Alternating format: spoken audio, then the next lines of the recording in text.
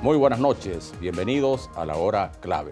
Buenas noches, Maki. Buenas noches, Manuel Felipe. Bueno, ya al final de nuestro operativo elecciones municipales, hoy vamos a contar con la presencia del profesor Agustín Blanco Muñoz, reconocido historiador, director de la cátedra Pío Tamayo de la Universidad Central de Venezuela. Bienvenido, profesor. Gracias, Manuel Felipe.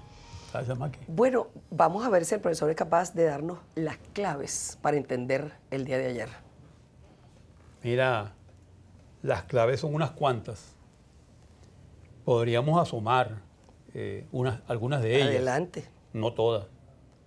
En primer lugar, creo que hay una clave muy importante, que es que el día de ayer, el 8 de diciembre, significa un salto específicamente en la legitimación del gobierno de Maduro. Legitimación que lleva a una máxima estabilidad política y a su vez lleva también al reconocimiento, a la limpieza, a la revaloración y, y, y muchos otros créditos para el CNE. Es la legitimación del CNE también. Del CNE. Claro. Exactamente. Porque si tú mm, trazas una, una coordenada desde el, desde el eh, abril, desde abril a esta parte, desde aquellas elecciones a esta parte, ves que en abril hay la impugnación y el desconocimiento materialmente del CNE, del llamado árbitro. En esta oportunidad, todo el mundo acepta el árbitro, todo el mundo acepta mm, su criterio, su actuación, y esto permite ciertamente que eh, todo quede en sana y tremenda paz. Y los resultados también se admiten y se aceptan. Se aceptan y se admiten. Ahora, esto nos lleva a una segunda importante clave, que es que hay que buscarla en el orden histórico. Es decir, que es el voto como tal, lo que hemos llamado en tiempos recientes el voto arma, el voto bala. ¿Por qué? Porque es el voto para controlar la población, controlar la, la voluntad popular. Ahora, ¿desde dónde viene esto? Esto eh, parte de un, de un criterio muy específico y de un momento muy concreto que se llama 1931, Plan de Barranquilla, cuando Rómulo Betancourt establece su, su proyecto del voto universal y secreto. Pero Eh, eso fue un avance muy importante. Y Indudablemente. tiene que mantenerse porque Induda- Pero allí justamente es donde vamos a inscribir eh, la, la trampa fundamental, porque no es un, voto universal secreto para una democracia de todos, sino es para una cobertura democrática para lo que se ha utilizado ese voto universal y secreto. Pero cuando se crea en la Constitución de 1947 fue un salto revolucionario. Claro. Y ciertamente abrió las compuertas de la participación a las mujeres que no podían votar, a los analfabetos, es decir, fue un, Yo acepto- un acto revolucionario en aquel momento. A lo mejor con el tiempo ha sufrido, se ha podido desvirtuar, ¿no? Yo acepto tu, tu- tu idea, nada más que con una corrección, que le quito eso de salto revolucionario. Bueno, un salto importante. Un salto importante. bueno, sí. no existía. Y se asumió como una forma Sí. de participación política Sí, cómo no. importante. Ahora fíjate, Agustín, tú hablas de em, la, la legitimación del gobierno, del CNE, todo eso puede ser cierto, pero el problema es que también están legitimando los, los cargos que ganó la oposición, que no son pocos. Están legitimando también un 60% de, de participación en unas elecciones en donde históricamente la gente prácticamente no le importaba y no participaba. Eso también tiene unas razones. Momentico. Estás legitimando también unos espacios que la oposición eh, ha trabajado por ganar y de hecho los ha ganado, ¿no? Sí, cómo no. Eh, eh, si vamos a ver, hablar de, seguir hablando de las claves, lo que me interesa es ver de cómo... Bueno, Esa sigue, es la sigue clave. con tu clave. no, pues. no. eh, eh, eh, para llegar a este punto que tú, que tú Ajá. acabas de señalar, que me parece muy importante, pero yo quiero se- señalar únicamente en, en el mundo de estas, estas- de estas claves que del 47 al 58, eh, dado el derrocamiento de Gallego en el 48, simplemente se congela la cuestión electoral. Resurge en el 58 como la enorme, como una- un esplendor muy grande. Pues bien, ese 58 nos lleva al 89. 89, 40 años de votos. El 89 explota, explota, estalla el 89, el Caracazo, y la gente ya no quiere más voto, no quiere más político, no quiere partido. Es un gran vacío. Y en ese gran vacío mm, surge un golpismo, un golpismo que no tiene nada que ver con votación. Y justamente Chávez, cuando sale de Yare el 28 de marzo del 89, se va de abstención junto con Ceresole. Se va de abstención. Luego lo convence Luis Miquilena, ¿no? Lo convence Luis y un grupo Miquilena, sector un grupo de, gente, pero también que venían de la democracia, digamos, del ejercicio democrático. Sí, ahí está Rangel también, ahí está Domingo Alberto, ahí está un grupo de gente que viene de lucha armada y que ahora está en democracia, pero fundamentalmente ya hay la conexión con Fidel Castro desde el, eh, desde el diciembre del, 90 del 94, enero del, del 95. Pero, pero fíjate que eso es interesante porque a veces la abstención en unos casos es buena y en otros casos es mala, hay que combatirla. Eso es bien interesante. Espérate, vamos a hacer una pausa porque ya se nos acabó este primer tiempo, pero seguimos con el profesor Agustín Blanco Muñoz al regreso de la pausa.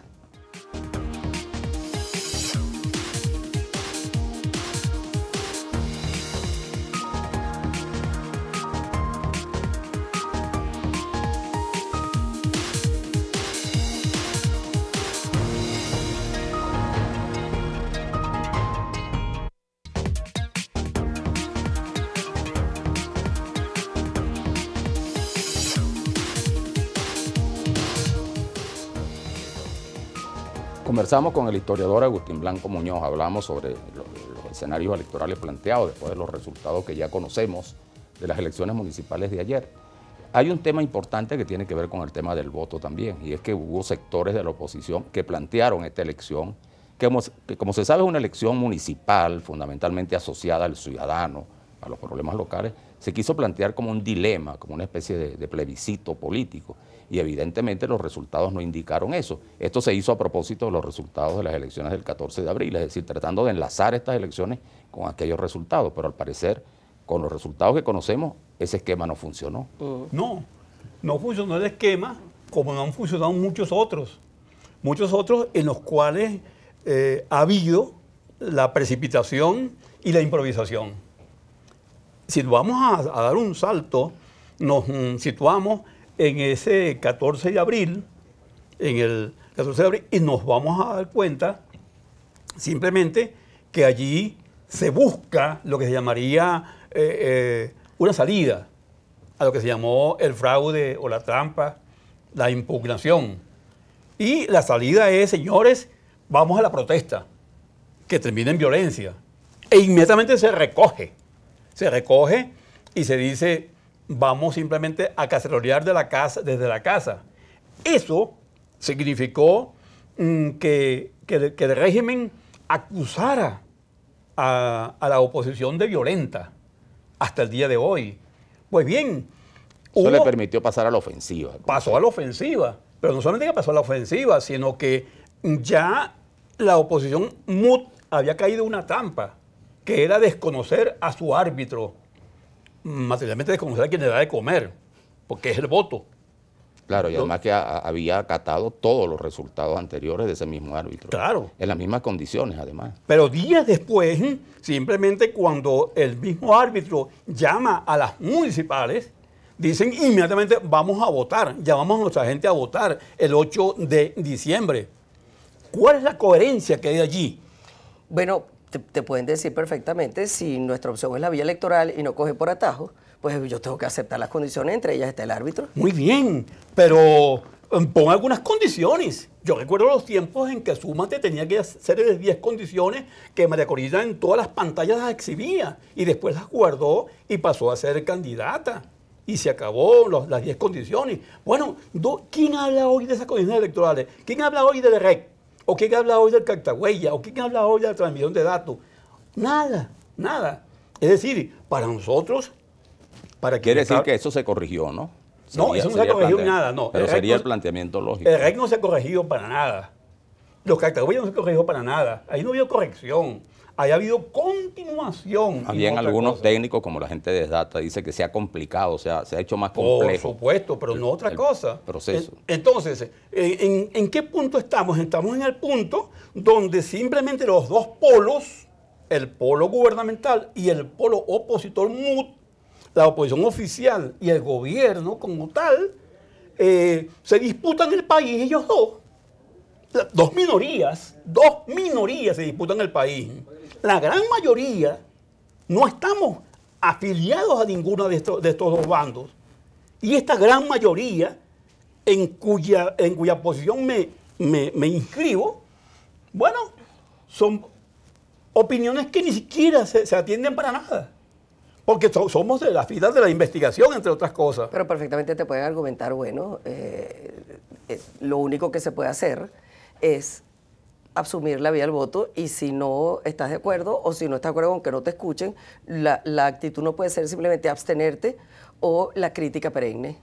Si la única vía que se puede asumir es la del voto, la única vía es la del voto, tendrán que decirme que es la política. Si la política es únicamente que votar. ¿De dónde han sacado esto? Que política es igual a voto y que democracia es igual a voto. ¿De dónde sacan esto? Es un instrumento importante la democracia. No otra cosa, no otra cosa. Claro, pero, no, es único, no, es el único, porque una de las cosas que se plantea uno es, bueno, a partir de este momento viene prácticamente año y medio en que no va a haber elecciones.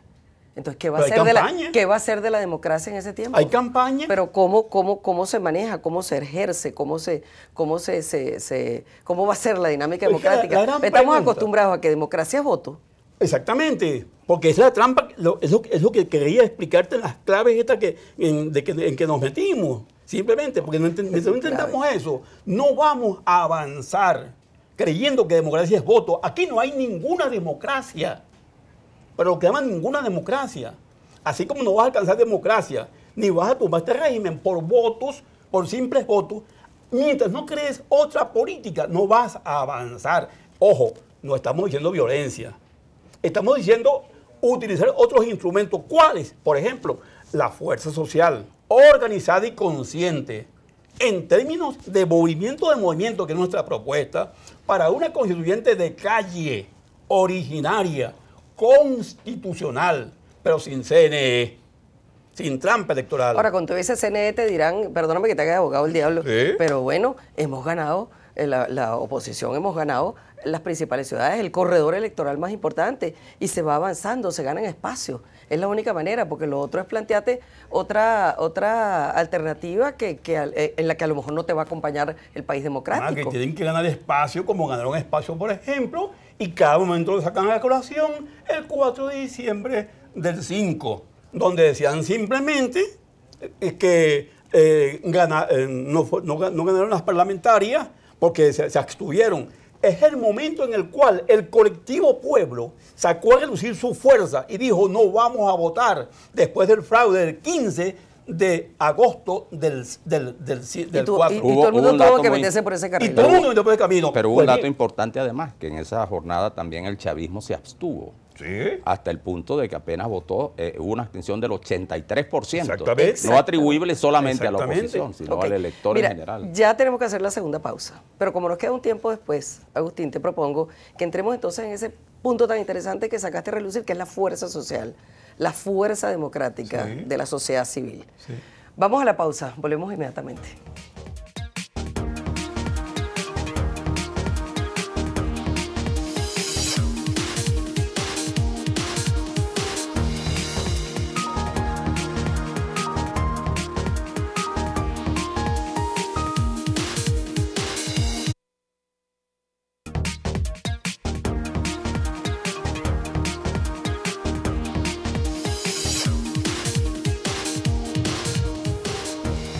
Estamos con el profesor Agustín Blanco Muñoz, jefe de la cátedra Pío Tamayo de la Universidad Central de Venezuela, comentando un poco las incidencias de ayer y en ese libro unos temas muy importantes. Hemos discutido un poco eh, como asumiendo pues los diferentes mm, temas por los cuales se pasea la gente de uno y otro parecer al momento de analizar este tipo de cosas.